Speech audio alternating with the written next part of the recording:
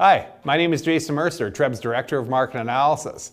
Let's take a few minutes to look at how the housing market performed in May, insofar as transactions reported through TREB's MLS system are concerned. Let's start with sales. Greater Toronto Area Realtors reported a record number of transactions for the month of May, with 11,706 deals reported. On a GTA-wide basis, sales were up on a year-over-year basis for the major home types. In the City of Toronto, we did see an annual dip in detached home sales, but this was more of a supply story. Due to the constrained supply of listings, some would-be homebuyers simply could not find a home that met their needs. Now this listing supply situation in the GTA has not been limited just to the detached market segment. In many neighborhoods, both in the City of Toronto and the surrounding regions, listings have been down compared to last year, particularly for low-rise home types like singles, semis, and towns.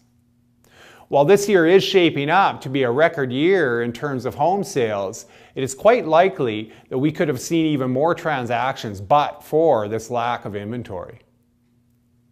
Now, in many cases, the persistent lack of inventory over the last couple of years has resulted in a vicious circle, where homeowners interested in moving likely chose to renovate instead because they felt it would be very difficult to find another home. Now, competition between buyers continued to result in very strong price growth in May. The MLS Home Price Index composite benchmark was up by 8.9% year over year.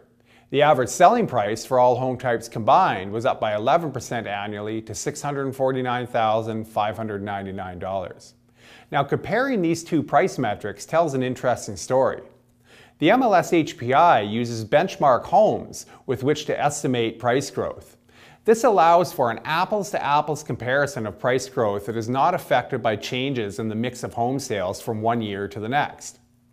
Conversely, the average selling price takes into account all transactions. The fact that annual price growth in the average price outstripped annual growth for the MLS HPI tells us that the proportion of high-end home sales continued to be greater in May 2015 compared to 2014.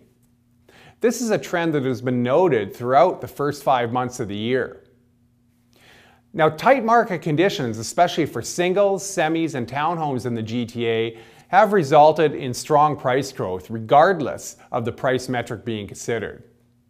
So looking forward, with no relief so far on the listings front, we expect similar rates of price growth as we move through the remainder of 2015.